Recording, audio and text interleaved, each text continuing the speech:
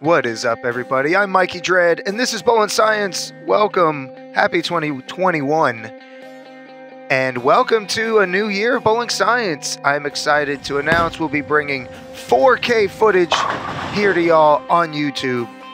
From here on out, uh, we made some upgrades here in the Bowling Science Lab, and this is our first film session, fully utilizing all of our new 4K technology. So I hope you all enjoy.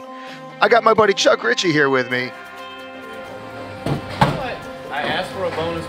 I even came up here, I was like, I have. And we're also joined by Brandon Johnson on the lanes today, and we're all going to be demoing and practicing and having a little session with our Radical Bonus Solids. The Bonus Solid is a lower diff symmetrical ball with a stronger solid cover stock that results in the ultimate control symmetrical for most bowlers. We have three different styles of bowler today that you will see, and I hope you all enjoy. This is just a little behind the scenes footage uh, leading up to the launch of the bonus Pearl and the Radical Results Plus, which we will have coming for you later this week. We filmed here with Gary Faulkner and Mo himself.